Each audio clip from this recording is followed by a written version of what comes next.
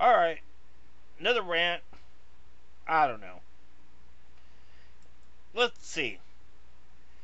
Look at Wikipedia, I was looking at this and it said nearly 15% of all Americans were. Oh no, that's 1910. Uh, in 1999, 10% of Americans were foreign born. Okay.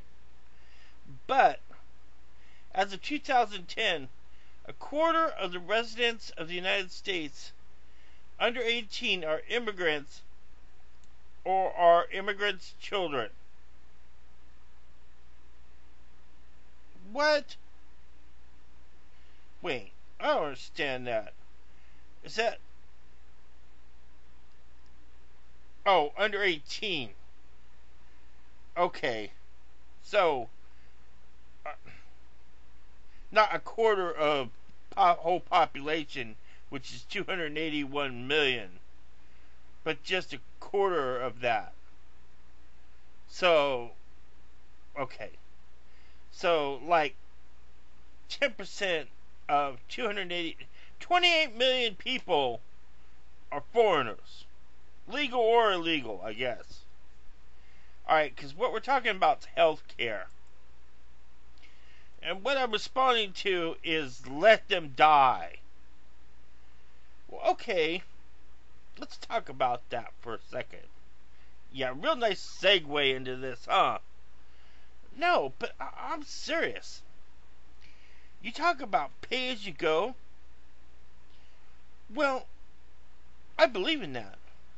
I believe in balancing the books, balancing the budget, freaking capping military spending except for where you need it, uh, doing the most cost effective military things you gotta do, and if that means friggin' rebuilding the friggin' uh, airplane graveyards and friggin' running low running bomber sorties over to wherever you got a bomb instead of this high tech infocentric military industrial complex crap, you do that.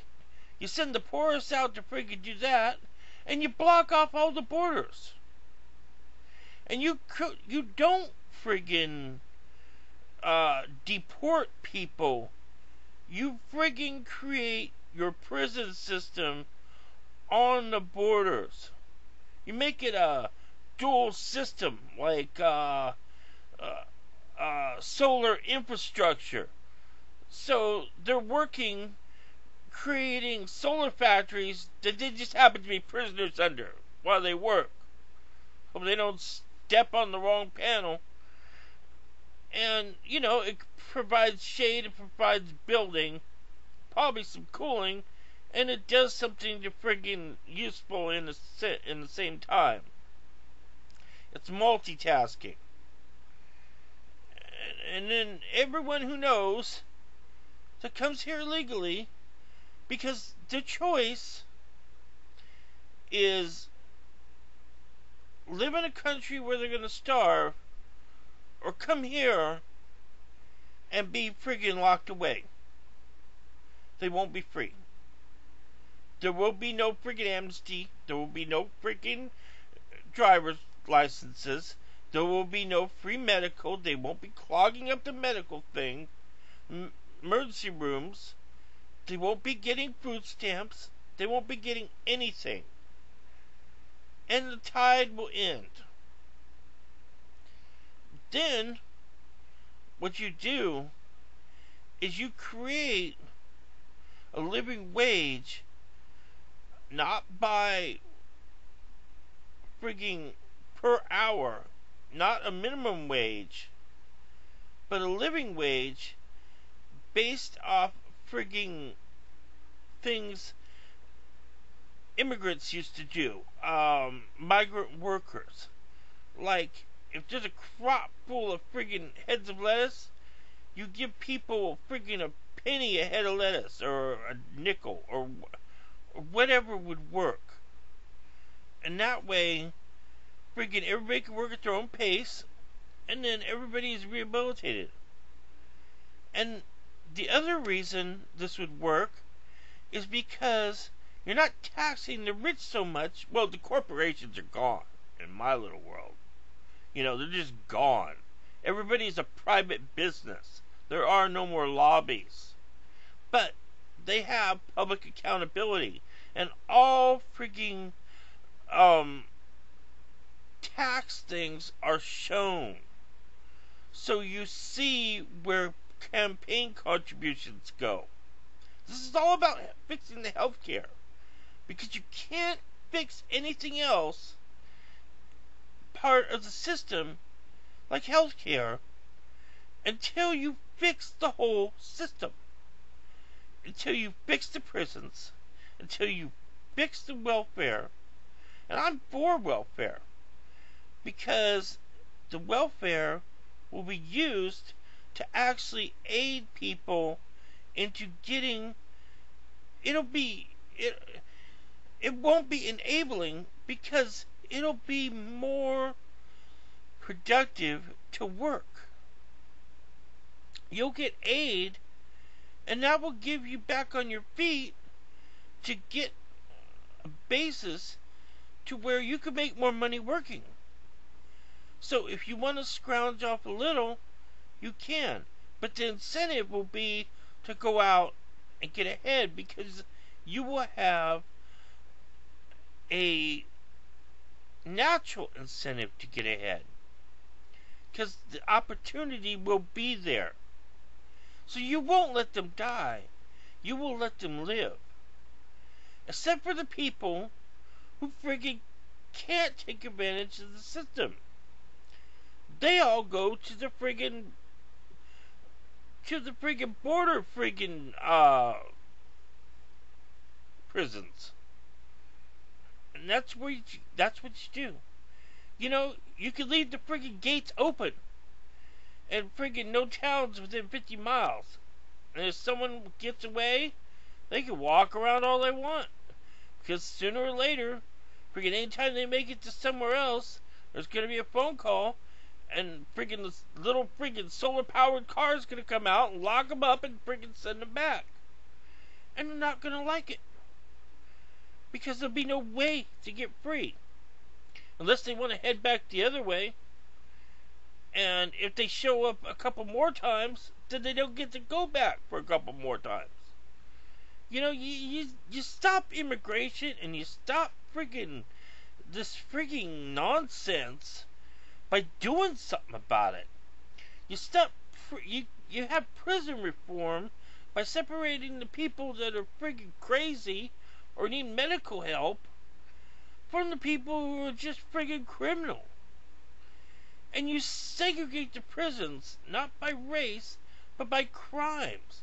You create a dozen little cupcake prisons and you reform by them not getting outside to enjoy the party. And you don't make them crime schools. That's how you friggin' don't kill everybody.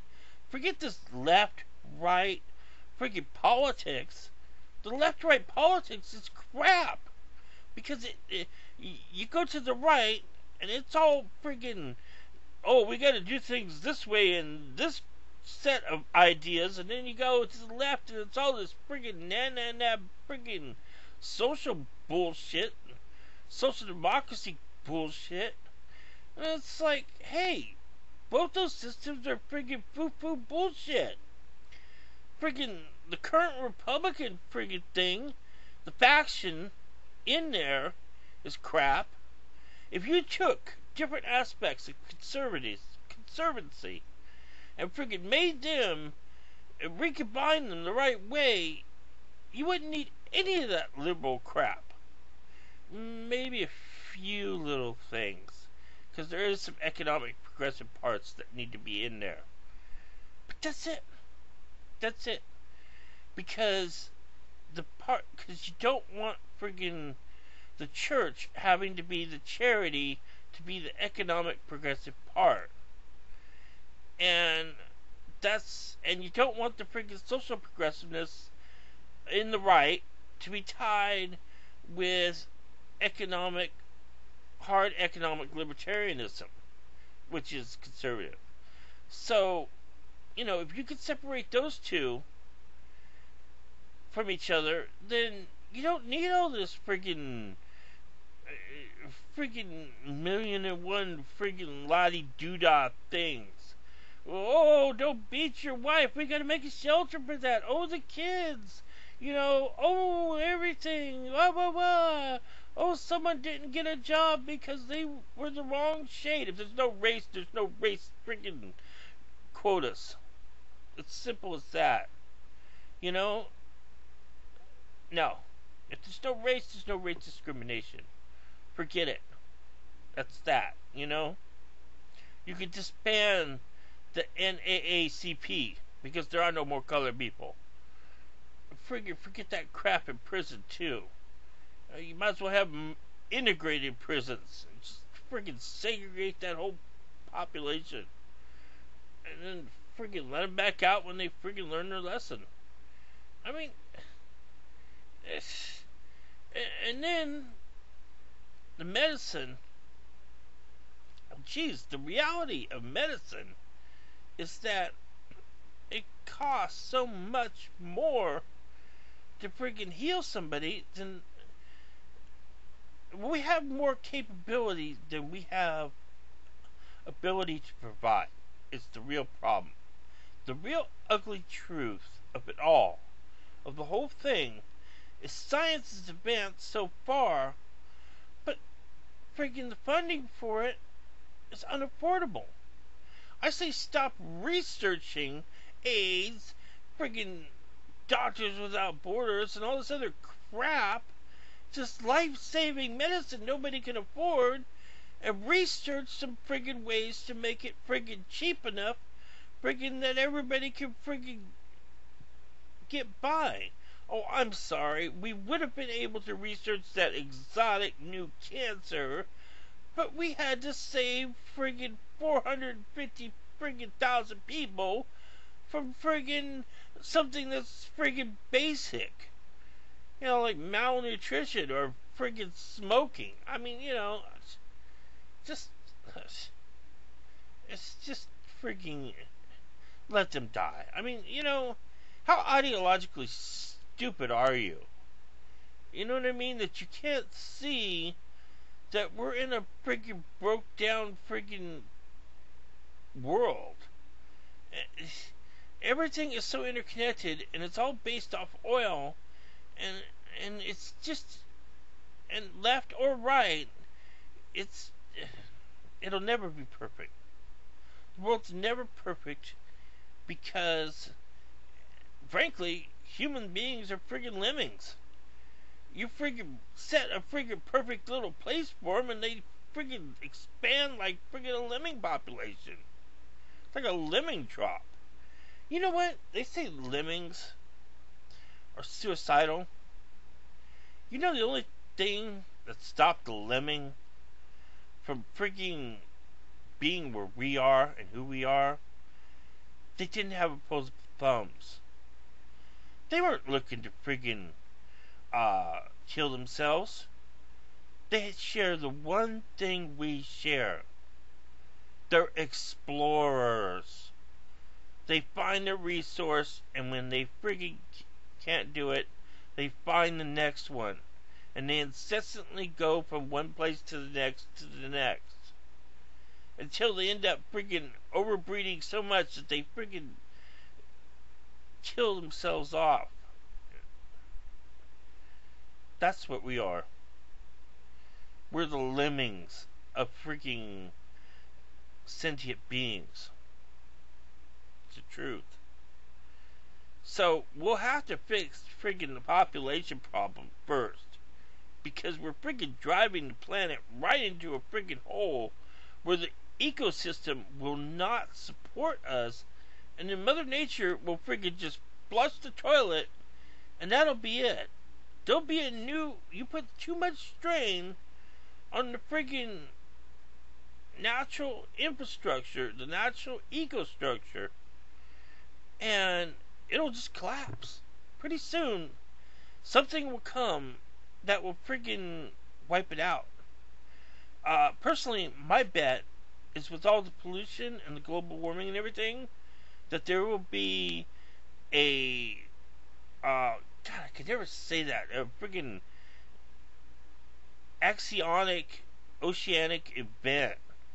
In other words, all that friggin' red tide is just gonna have friggin' methane that's gonna bubble up, and everyone for a hundred miles of friggin' any coastline will be dead. You'll see people in the mountains, and and keep in mind that any time there would be a major pandemic or a meteor striking or something, that there's that the social economic situation is that once any major government collapses and an international network collapses so bad it's like a friggin' it's like a net. Once you yank on that net it'll yank everything else into the friggin' sea and friggin' down it goes. And you know we're all sitting on a bunch of nukes still. So anytime friggin' a country goes plunk, friggin' it'll it'll friggin' hit the friggin' self destruct button. And there it all goes. Well, maybe. Well, no, I don't think the friggin' planet would survive that. You know, maybe if it was like friggin' Rise of the Planet of the Apes, where it's just one Omega bomb at the end you know, or Thundarr the Barbarian or something, you know, but that's it. You know, uh, maybe in a hundred billion years or a million years, it would grow back again to where small mammal life would be back, but it's doubtful. So, you see, that's the real problem. Let them die. If we don't fix it, we're all gonna die. And no, this isn't friggin' Gary.